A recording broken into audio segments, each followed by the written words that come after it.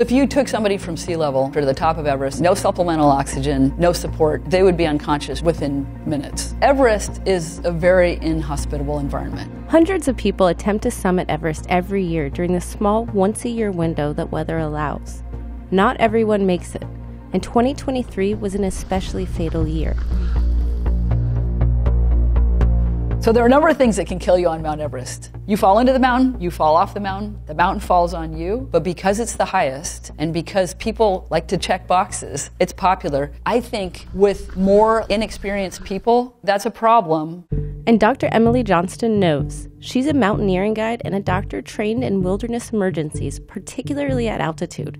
She's summited Everest three times and each of the tallest peaks on all seven continents. Starting at base camp, she'll break down the physical dangers that climbers face all the way to the top. So, this is Everest Base Camp, around 17,500 feet. The molecules are twice as far apart. You've already lost half of your oxygen. So, 2,500 meters, that's when you would start to see changes. So, we're well above that here. So acute mountain sickness is not unusual here. People do get high altitude pulmonary edema and high altitude cerebral edema here as well. People also get GI problems because there are a lot of people living here. So it's not unusual for people to get nausea, vomiting, diarrhea. That's probably one of the biggest problems at base camp is just sanitation. And a lot of people fly in and then come up the valley and get GI bugs. So GI bugs are a big problem here. The Khumbu Icefall is a constantly moving frozen river creating deep and wide crevasses. It was also the site of a deadly avalanche that killed 16 in 2014. The Khumbu Icefall is a steep area of lots of broken ice, lots of crevasses and seracs. And the biggest problem here is that ice will fall on you or you will fall in a crevasse. It's really difficult because there's no place to land a helicopter because you need a flat space. You could pick somebody off with a short haul rescue, but it's unlikely that you're going to do that. No matter what part of the mountain climbers are on, proper gear is essential, not just for staying warm, but for survival. Here's some of Emily's essential gear bag. So here's some of the standard gear that we use on Everest. Down suit, it's pretty warm. Here's some big mittens, and they're so big that you actually wear another pair of gloves underneath. This is that harness that I wear at high altitude. You have this thing, we call it a crab claw, and it's connected to the harness. And you have crampons, you know, spikes that you put on your feet.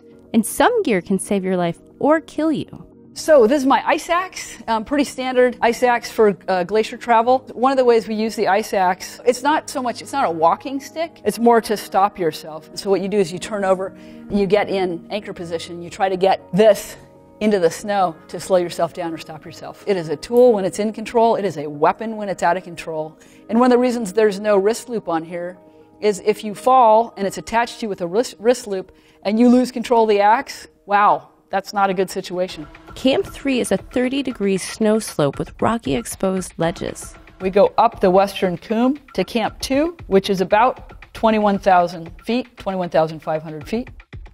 From here, we go up the Lhotse face to Camp 3, which is on the Lhotse face. One of the big problems going from Camp 2 to Camp 3 is that's a big jump at a high altitude. And so maybe somebody who's had a little bit of acute mountain sickness, they've been kind of ignoring it, and they're like, yeah, it's just altitude, I don't feel that good. High altitude pulmonary edema, high altitude cerebral edema are our greatest concerns, and they're not easy to diagnose. High altitude pulmonary edema, particularly, it's a continuum of brain swelling. And this brain swelling is caused by a number of things. One thing is when your brain gets hypoxic, it opens up the blood flow to the brain. And the way it kills you is your brain is a walnut in a shell, right? The shell is your skull. If it swells, it can only go so far. The only way to for your brain to get out of the shell is to go down through the bottom of your skull, which is not compatible with life. That's high altitude cerebral edema. Descent is the treatment of choice. What happens sometimes though, you get a Camp 3, it's super windy, it's in a dangerous spot, you can't go down because it's too dangerous. So then you have to treat them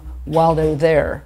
We have to use a portable hyperbaric chamber called a Gamow bag. It's airtight, so it's tough if they're claustrophobic or vomiting or whatever. And then you hook the pump up and you pump it up so that the pressure inside the bag simulates being at a lower altitude from a physiologic standpoint. And you have to pump it 10 to 20 times a minute so that they get fresh air in there and their carbon dioxide gets expelled. You can't just leave somebody in one of these bags because they would suffocate. Let's give it a try. We're going to put you in it. Perfect, that's great. So go ahead and lie down. So I'm filling the bag with air right now, and then I'll overfill it, and that is what will simulate altitude. If you're gonna rescue somebody, you can help lower them with the straps that are attached to the outside. You can use them tactically. Ta-da! Whoa! How you doing? Camp 4 is the last stop before the summit. This is what people call the death zone. In the world, there are very few human habitations above 16,000 feet because you're, you just can't keep up. Now, all of a sudden, you're at 26,000 feet, you're 10,000 feet above that level. And so things are breaking down.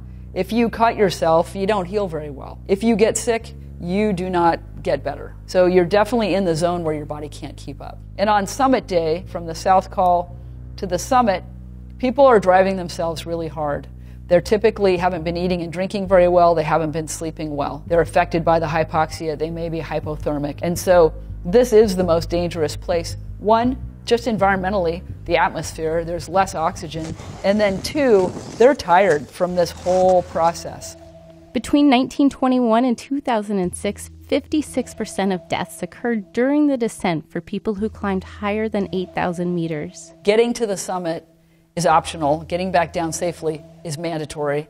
The problem is there's also this huge sort of catecholamine surge. People are like, I did it. I've achieved my goal. You think you've won the game, but you haven't. You have to get all the way back down. All they're thinking about is going home. They're not thinking about putting one foot in front of the other. They haven't been eating and drinking, and they come down and they can fall off. And it is a long way. And people make big decisions that are wrong. Like people will come down a ridge and they're supposed to go to the left and they'll go to the right. People will make poor decisions. They'll sit down and they won't get back up because they're just confused. They just have no idea where they are. After summiting, my biggest concern is exhaustion and dehydration. You know, snow blindness can set in a little bit later. UV keratitis is the fancy name for snow blindness. It just means that your corneas are exposed to more ultraviolet radiation than they're accustomed to. If you are out in this ultraviolet radiation for too long, it can get to the point where the next day it'll feel like you have sand in your eyes and then you won't even be able to open your eyes. You need somebody to lead you around. And there are a lot of places on the upper mountain where you simply can't lead somebody around, particularly if you're on ab- above the South Col, like on a summit bid, and you get s- snow blindness when it ma- if it manifests there, it'd be very difficult to rescue somebody who can't see. Everest remains one of the safest tall, ultra high altitude peaks to climb simply because of all the infrastructure. Despite that, there was an unusual amount of deaths on the mountain in 2023.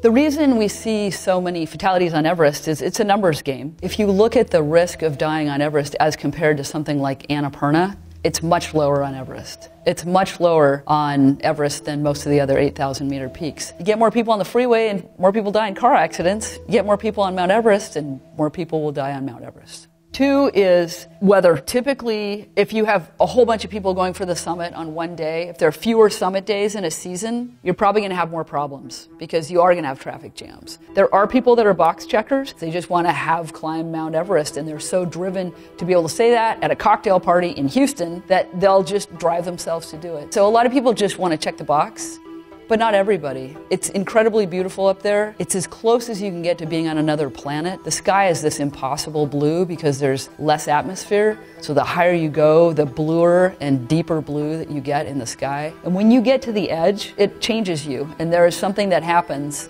that I can't describe, but it's very seductive.